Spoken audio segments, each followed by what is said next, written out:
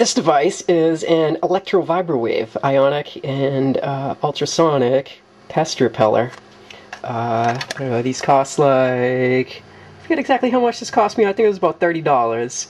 Um, I, found it someplace online, if anybody cares where that is, you send me an email or something, I'll tell you where to find one of these, but um, you plug this thing into the wall. It's got a little uh, outlet on the back there, and uh, it puts a it puts a frequency into the power, uh, the power lines of your house that bugs out the bugs. They can't stand it, and so they'll just crawl out of your house. They'll leave, and um, uh, when I looked this up, it said it was effective against uh, like bed bugs termites, everything, everything, every type of bug basically hates to sit and listen to this type of device, and so it's just um, it's a way that you can keep bugs out of your house.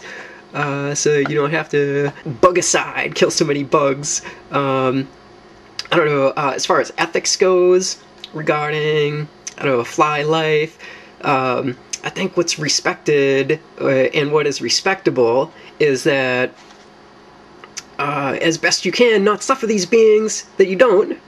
You know, if you if you uh, hit one and you know it's like wriggling, like it's gonna uh, like it's in a lot of pain, you know maybe take the thing home and uh, you know put some uh, honey in front of it and you know a little bit of water or something and put uh, you know keep it in a jar.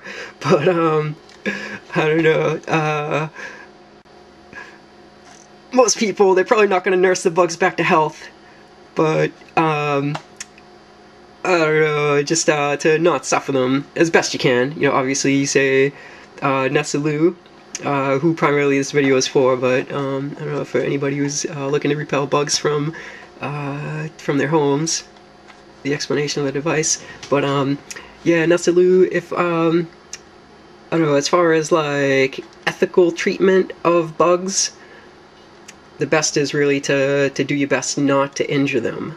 And if you can do that by just simply plugging uh, plugging a thirty dollar device into your wall, and then you know not to be bothered with the bugicide, then um, I don't know. It's like the preferable option. Um, it's probably some way to uh, I don't know uh, cause your computer to to put the signal into the wall. It would require some software or something like that. Um, I don't know, the, com uh, the, computer already has a plug. It might need to be a, a more robust uh, cable than what comes with the computer or something like that. But uh, I don't know, it's just a, uh, to create a frequency and to send that into a power cord. That's, uh, that's the whole trick of the matter to reject the bugs and then to know the frequencies that it is that they detest.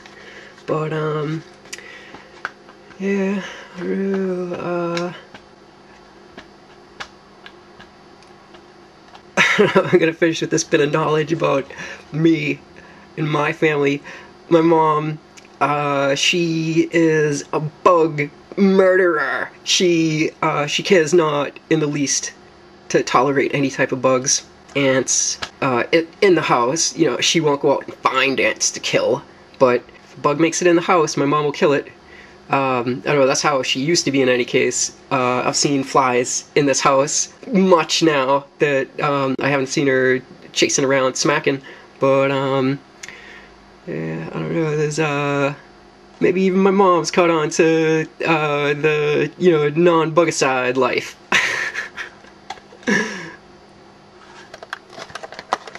I wanted to, um, to record uh, an exception to this that uh, that you tolerate bugs, which is um, that they are potentially egregiously injurious to you, and they're trying to perform whatever action it is that uh, it is that will uh, affect this injury. Um, I don't know, for instance, scabies. You know, you don't try to round up the scabies to, to get them off of you. I mean, if there was ever a possibility to make that happen, then maybe, yeah, sure. But, you know, it seems to me that there's no treatment to round up the scabies and to send them to a camp. So, um, I don't know, beyond that, you know, what else might uh, be a potentially very injurious bug? Uh, a mosquito potentially carrying West Nile virus, potentially carrying malaria. Um,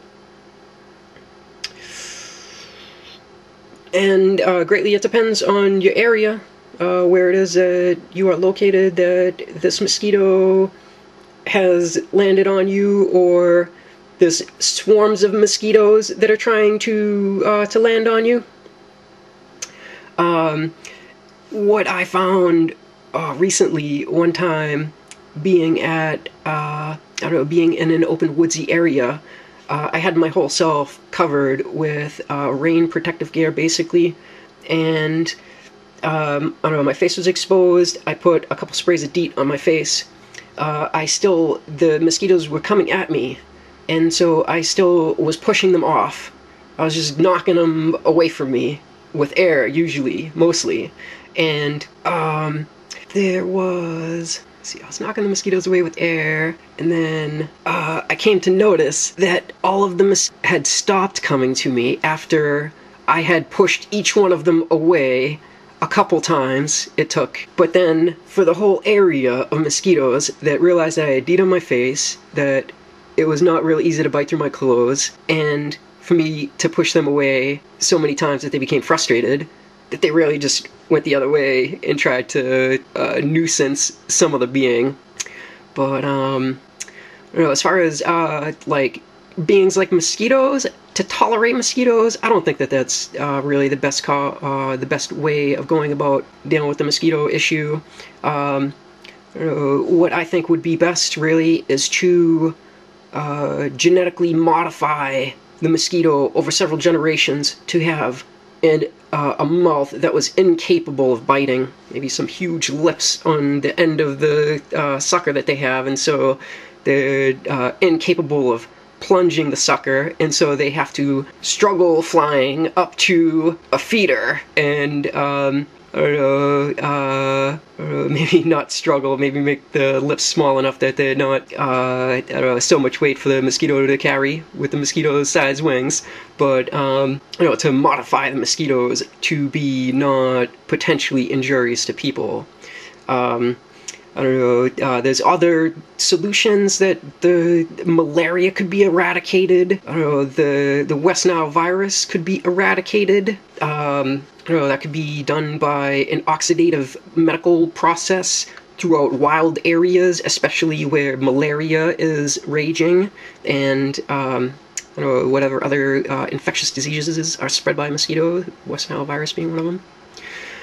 Uh, I don't know. I think that's all I really have to say about bugs.